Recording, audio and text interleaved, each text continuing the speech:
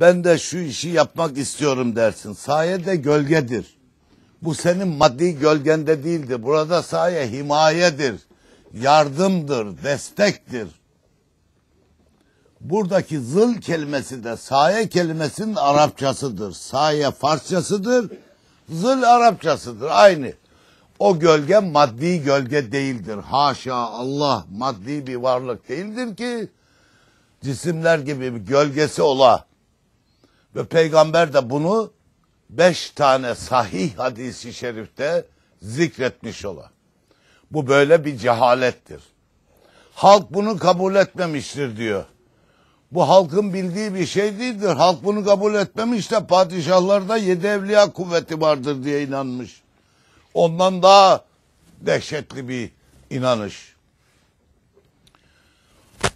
Yani bu vehim bile olsa ona güvenmeye, ona inanmaya, ona bağlanmaya vesile olduğu için amme-i Müslüminin menfaatine olan bir husustur.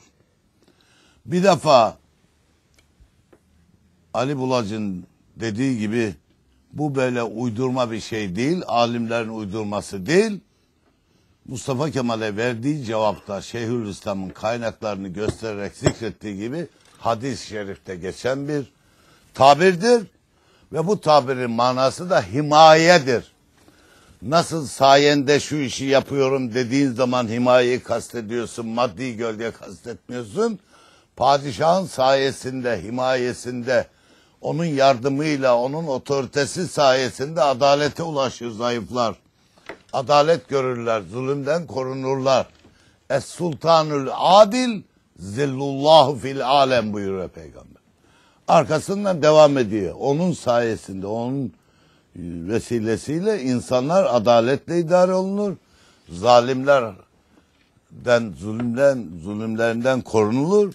Haklarını elde ederler.